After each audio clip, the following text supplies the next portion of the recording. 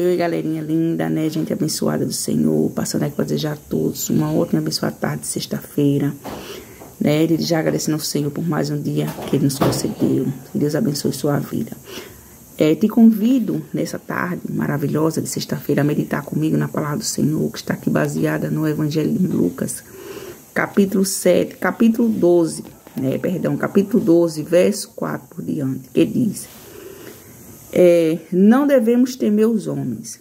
E digo-vos, amigos meus, não temeis os que matam o corpo e depois não tem mais o que fazer.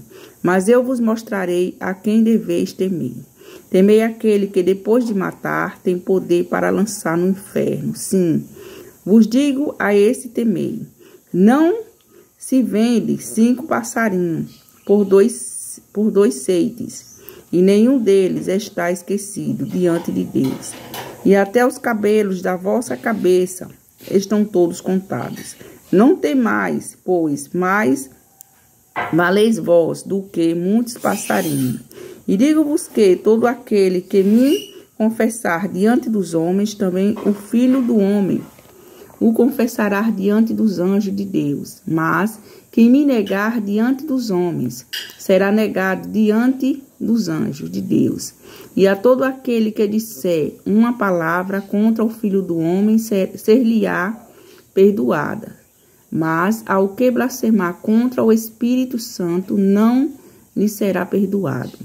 E quando vos conduzirem à sinagoga, aos magistrados, potestades, não estejas solicitos de como ou do que a vez de responder nem, nem do que a vez de dizer, porque na mesma hora vos ensinará o Espírito Santo que vos convém falar. Então, meus amados, a gente muitas das vezes, né, o ser humano muitas das vezes teme o homem carnal, o braço de carne, que só tem poder de tirar a, é, a vida do corpo e não da alma. E outra, só tira a vida do corpo se for com a permissão de Deus também. Porque se Deus não permitir, ele não tem poder de tocar em ninguém, pois a sua vida pertence a Deus, unicamente a Deus.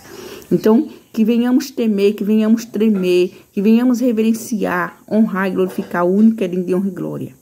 Porque só a Ele toda a honra e toda a glória, né? E todo aquele que confessar, se você confessa o Senhor Jesus diante dos homens, ele te confessará diante dos anjos do céu né? Mas se você se envergonhar dele diante dos homens, ele também se envergonhar de você diante dos anjos do, céu, do Senhor, né? Porque tem pessoas, amadas, que têm vergonha de confessar o nome do Senhor em público.